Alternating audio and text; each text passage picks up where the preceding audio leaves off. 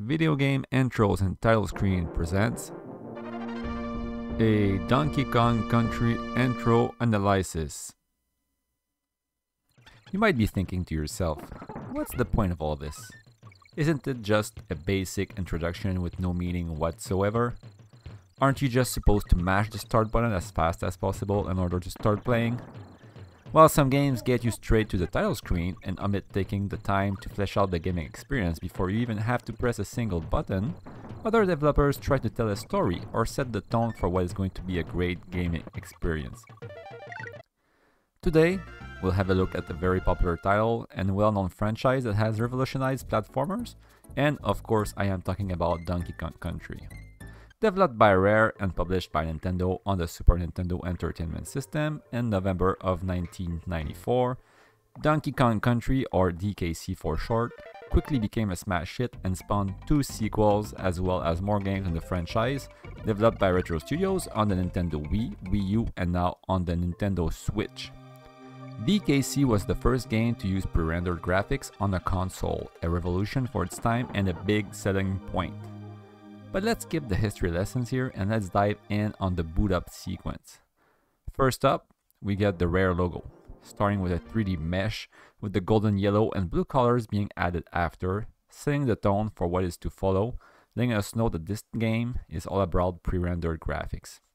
Even that Nintendo logo is 3D rendered, with nice little shiny lights being reflected, accentuating the fact that this is going to be something special graphically. The little fanfare that plays with the Rare logo becomes a staple and is done in different ways in their follow-up games on Super Nintendo.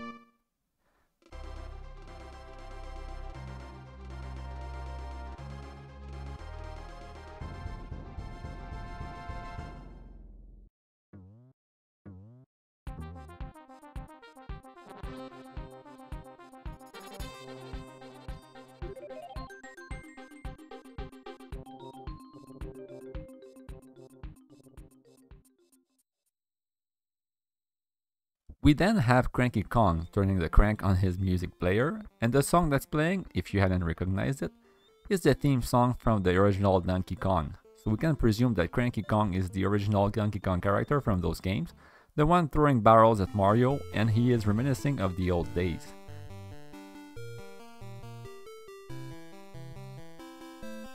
Even the red metal platforms are throwbacks to the original game.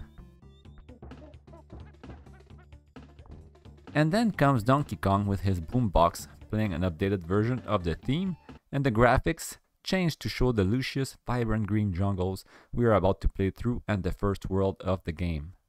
Obviously, the old Cranky Kong gives a taste of his barrel throwing prowess to the young Donkey Kong, sends a TNT barrel his way, the explosion creating a flash to transition smoothly to the title screen.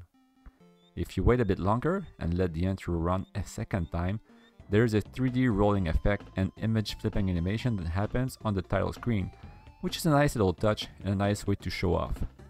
It's interesting to note that the FX chip wasn't needed for this game at all, making all of this even more impressive. And this is all I had for you guys today. Hope you enjoyed this deeper look at the intro and title screen of one of Super Nintendo's best and most influential game, and we hope to see you back again on this channel for our next analysis. In the meantime, back to watching more classic game intros. Please don't forget to like and subscribe as well as share with your friends and family. And thanks for watching.